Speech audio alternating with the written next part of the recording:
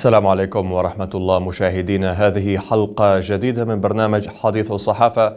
نبدأها من صحيفة واشنطن بوست الأمريكية التي نشرت مقالا كتبته منسقة الشؤون الإنسانية في الأمم المتحدة فاليري آموس بعنوان من يهتم بما يجري في سوريا؟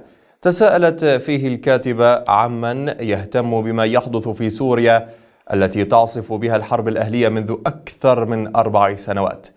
وأشارت كاتبة المقال إلى أن الكويت شهدت الشهر الماضي مؤتمرا لتقديم التبرعات والمساعدات إلى السوريين المحتاجين وأثنت على دور بعض الوكالات الإنسانية المتمثل بالاستمرار في تقديم الغذاء والماء والدواء والرعاية الصحية للمشردين من الشعب السوري. وعربت آموس عن استهجانها لبقاء المجتمع الدولي متفرجا على الأزمة السورية المتفاقمة التي تترك عواقب وخيمة على الإنسان. وأشارت إلى مقتل أكثر من 220 ألف شخص وإلى تشرد أكثر من 8 ملايين من السوريين. ودعت الكاتبة المجتمع الدولي للعمل على فرض حظر جوي وإنشاء منطقة عازلة بسوريا وذلك لتمكين المنظمات الدولية من تقديم الإغاثة للمدنيين. وإلى نزع فتيل العنف في سوريا والاستفادة من خبرة الأمم المتحدة للتوصل إلى اتفاق بشأن انتقال سياسي ينهي الصراع الذي يعصف بالبلد ويهدد بالانتشار.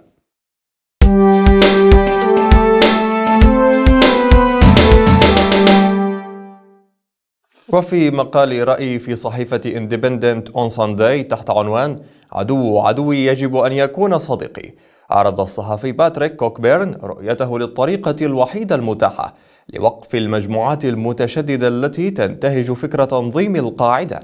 وقال كوكبيرن إنه بالنظر إلى خريطة اليوم نجد أن الدول المسلمة تتحلل أو تضعف بدءا من باكستان وصولا إلى نيجيريا.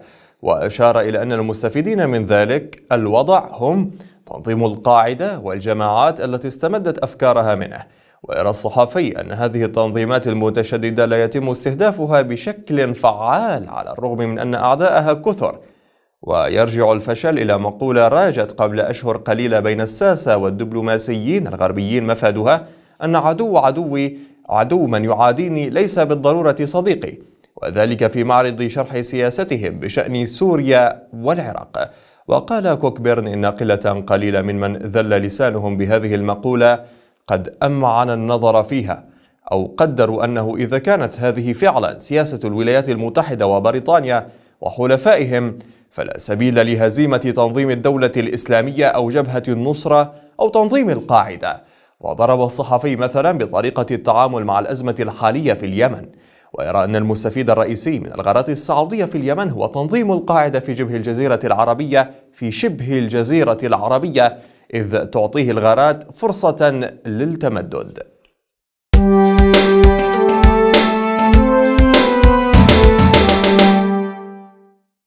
صحيفة مليات التركية نشرت تحت عنوان تحذير استخباراتي من عمليات إرهابية سورية في تركيا حيث حذر تقرير من جهاز الاستخبارات التركية إلى وزارة الداخلية أن سوريا قامت خلال الفترة الماضية بتدريب السجناء في مدينتي اللاذقية وطرطوس استعدادا لإرسالهم إلى 12 مدينة في تركيا بضمنها اسطنبول وبرسين وأضنا وغازي عينتاب ومدن أخرى عبر بوابات باب الهوى وباب السلامة بالإضافة إلى استخدام مطار بيروت بغية القيام بأعمال إرهابية فيها خلال الفترة التي ستسبق الانتخابات البرلمانية المقبلة في تركيا في السابع من حزيران المقبل. وأشار التقرير الاستخباراتي إلى تزايد ملحوظ في عدد دخول الأشخاص السوريين إلى تركيا بجوازات سفر رسمية.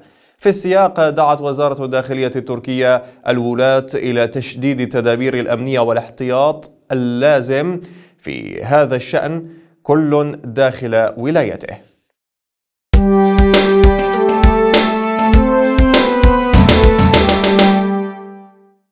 مركز سيتا للدراسات السياسية والاقتصادية نشر مقالا لبرهان الدين طوران بعنوان تجاوز التعصب الطائفي في المنطقة حيث يرى الكاتب بأن أحداث الربيع العربي شكلت مصدر طموحات لشعوب المنطقة من أجل إحداث تغيير جذري على شكل الشرق الأوسط. لكن مع تحول الأحداث في ليبيا وسوريا واليمن إلى حرب أهلية حال ذلك دون إسقاط الأنظمة القائمة ودون تشكيل نظام جديد. محولة بذلك الربيع العربي إلى خريف. ويرى الكاتب بأنه خلال هذه الفترة الانتقالية أصبحت المنطقة بأسرها تحت تأثير حروب الوكالة التي تديرها القوى صاحبة النفوذ وكانت أكبر دمار سببته حروب الوكالة في المنطقة هي خروج منظمات دينية متشددة. ويشير الكاتب إلى أن أكبر المستفيدين من حروب الوكالة هي إسرائيل وكانوا يريدون إقحام تركيا أيضا في هذه الحرب. لكن تركيا وقفت في وجه تلك المحاولات. ويرى الكاتب بأن حزب العدالة والتنمية حافظ على التوازن بين الديمقراطية والعلمانية وأصوله الإسلامية وكان يسعى لتحقيق تعاون اقتصادي تكاملي مع دول المنطقة من أجل مستقبل مشرق لها لكن استخدام القوى العظمى للقوة الخشنة تسبب في تضييق الخيارات أمام السياسة الخارجية التركية. لكن مع ذلك أصرت تركيا على عدم تفضيلها استخدام القوى العسكرية إلا بصورة محدودة جدا. في نفس الوقت تمسكت تركيا بمبدأ الوقوف إلى جانب شعوب الربيع العربي فيما كانت المشاكل الحقيقية التي تواجهها السياسة الخارجية التركية تتمثل بالسياسة الخاصة مع كل من إيران والسعودية. تقارب رئيس الجمهورية أردوغان مع المملكة العربية السعودية. وانتقاده لمحاولة إيران بسط نفوذها وزيادة هيمنتها في المنطقة. قد تجعل البعض يصف ذلك من ضمام تركيا لمعسكر السنة. لكن في الحقيقة أن هذا التقارب هو انعكاس لجهود تبذلها تركيا من أجل جلوس القوى الإقليمية على طاولة الحوار. فمن خلال ذلك من الممكن أن تقوم السعودية باستخدام نفوذها من أجل تغيير حجم التدخل الإماراتي والمصري في ليبيا. ومن خلال ذلك أيضا من الممكن أن نحدها من حجم الصراع السعودي الإيراني في اليمن. خطاب أردوغان المتعالي عن الخطاب المذهبي والطائفي خلال زيارته لإيران هو جزء من جهود تركيا لتقديم مبدأ الحوار والتفاوض بين القوى الإقليمية من أجل إنهاء حالة الفوضى التي تعم المنطقة. يقول أردوغان قد تنتمون لمذهب ما لكن أن تصبح المذاهب الأخرى بالنسبة لكم عدوا. فهذا سيجعلكم تمزقون الأمة. فالعالم الإسلامي اليوم أمام خطر التمزق مجددا.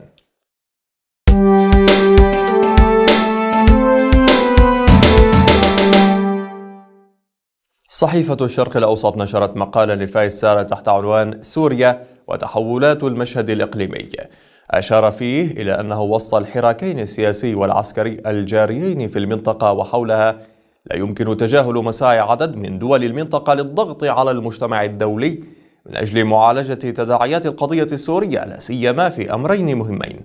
موضحا أن أولهما موضوع اللاجئين السوريين في دول الجوار وقد قارب عددهم الخمسة ملايين نسمة وموضوع إغاثة المهجرين واللاجئين وقد بات مثل سابقه يثقل ظهر دول الجوار. ولفت الكاتب إلى أن وقائع مساري استمرار الصراع في سوريا والحل العسكري الصعب تفتح الباب على المسار الثالث في معالجة القضية السورية وهو مسار الحل السياسي انطلاقا من أنه يوفر دماء السوريين وتهجيرهم ودمار ما تبقى من قدراتهم وبلدهم ويوفر الحراك السياسي الجاري فرصا أفضل من أجل السير به معتبرا أن التطورات العسكرية الأخيرة في شمال وجنوب سوريا يمكن أن تخدم هذا المسار لأنها توجه درسا واضحا للنظام وتحالفاته. خلاصته أنه يمكن تغيير خريطة التوازنات العسكرية على الأرض مما يدفعه للتفكير بالسير نحو حل سياسي رغم ما يبدو على النظام من خروجه عن قواعد التفكير والتدبير المنطقيين. وخلص الكاتب في مقاله إلى أن ما يحصل في المشهد الإقليمي. يترك تأثيرات ملموسة في واقع القضية السورية ويعزز سبل حلها مبينا أنه يرجح مسار الحل السياسي الذي وإن عارضه النظام وحلفاؤه الآن فإنهم لن يستطيعوا الاستمرار في معارضته إذا استمرت التحركات الراهنة وعززت التوجه نحو وضع حد لما يحصل في سوريا.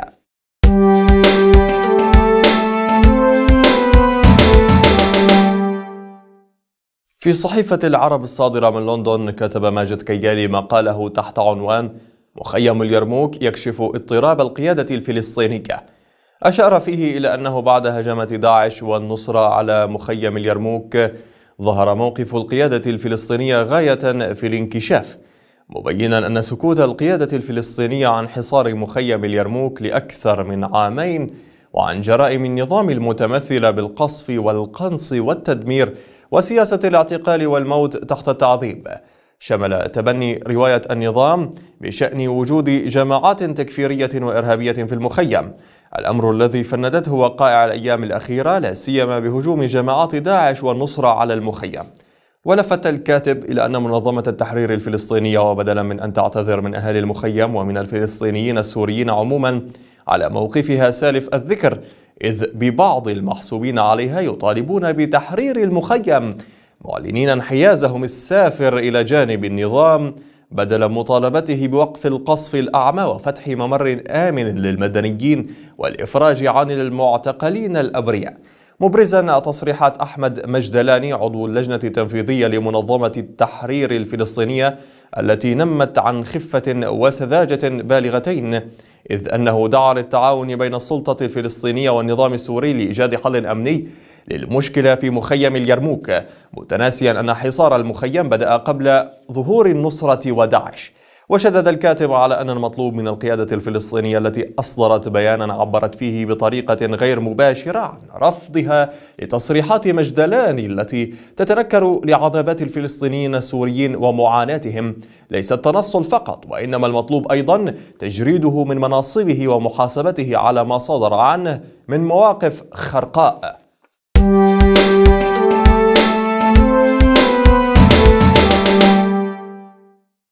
نقرأ في صحيفة المستقبل اللبنانية مقالا لثريا شاهين تحت عنوان انطلاق الحل السوري ما زال يفتقر إلى الدينامية.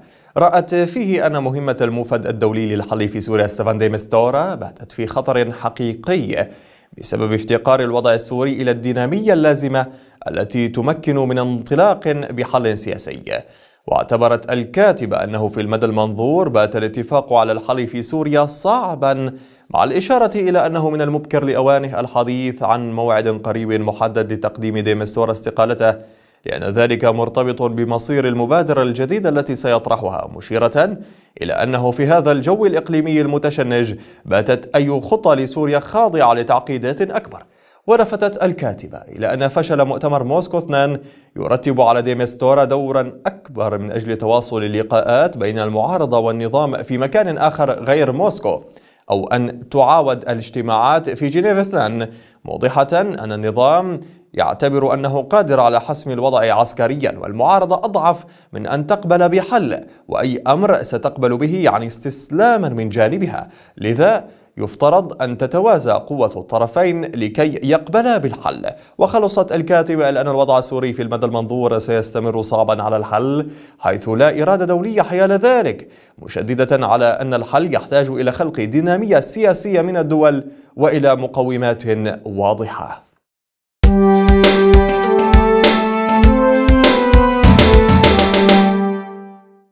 كتبت صحيفة الشرق السعودية بعنوان الإرهاب وإيران عدوا المنطقة لنتخيل أن من يحكم إيران اليوم قيادة تؤمن بحقوق الإنسان وحقه في حياة حرة وكريمة وتحترم الأنظمة والقوانين الدولية ولا تريد بناء قوة عسكرية نووية وقيادة لا تسعى للسيطرة على الشعوب وأراضيها ولا تريد أن تفرض رؤيتها للحياة على الآخرين كما أنها لا تتدخل في أي من دول الجوار البعيد أو القريب. وتابعت ولنتخيل أن لا وجود للميليشيات التي تقتل في العراق وسوريا واليمن ولا وجود للمخالب في سوريا ولبنان التي تنهش مجتمعات البلدين وتريد السيطرة عليهما. واستطردت. ولنتخيل أن لا وجود لتنظيم داعش وتوابعه. وكيف سيكون حال أهل الأنبار ونينوى في العراق؟ أو كيف سيكون الحال في الرقة السورية؟ وبقية المدن التي دمرها الأسد وحرسه الثوري وهجر شعبها. وأشارت الصحيفة إلى أن المراقب للوضع في المنطقة لابد أنه يدرك أن الإرهاب وإيران هما عدوا المنطقة وشعوبها وهما من أحالا المنطقة إلى بؤر للحروب الداخلية بين مواطنيها بإشراف وتمويل ودعم إيراني مباشر. موضحة أن تصريحات قادة طهران وزعماء الميليشيات والتنظيمات الإرهابية تؤكد يوميا هذه الحقيقة.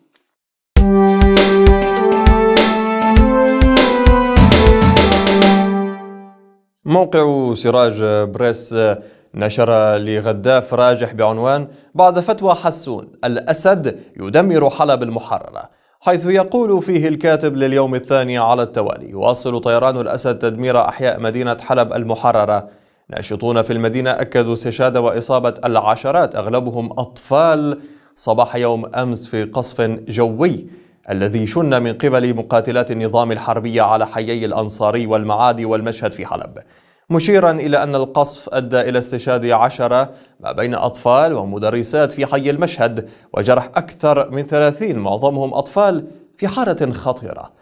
بالإضافة لتدمير أربع مدارس جزئيا بينها مدرسة جميل قباني بين حيي المشهد والأنصاري جنوب حلب. وأكد ناشطون استشهاد ثلاثة مدنيين وإصابة آخرين بقصف جوي على حي باب النيرب فيما استشهد طفل وأصيب آخرون في استهداف حي الشيخ خضر بصاروخ فراغي أدى إلى دمار هائل في منازل وممتلكات المدنيين. وبهدف زيادة أعداء الشهداء عمدت قوات الأسد على معاودة استهداف مواقع القصف في حي الأنصاري بقذائف المدفعية وذلك بعد تجمع الأهالي لإسعاف الضحايا غير أن القصف المدفعي لم يوقع أي شهداء. الأمر الذي أجبر فرق الدفاع المدني في المدينة على دعوة الأهالي في المناطق المحررة بحلب لالتزام منازلهم والابتعاد عن التجمعات إثر تصعيد قوات الأسد واستهدافها للتجمعات السكانية. تجدر الإشارة إلى أن هذه الهجمة الكبيرة على أحياء مدينة حلب المحررة تأتي بعد الفتوى التي أصدرها مفتي الأسد أحمد حسون والتي أباحت لقوات الأسد تدمير أحياء حلب المحررة. بهذا المقال مشاهدينا الأكارم نكون وصلنا لنهاية الحلقة لهذا اليوم. نشكركم على حسن المتابعة ونترككم برعاية الله. إلى اللقاء.